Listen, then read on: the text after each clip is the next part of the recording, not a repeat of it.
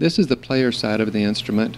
In the middle, you can see the touch switch that controls the attack. On the right side, there's the power switch, the green pilot light, and the power cord.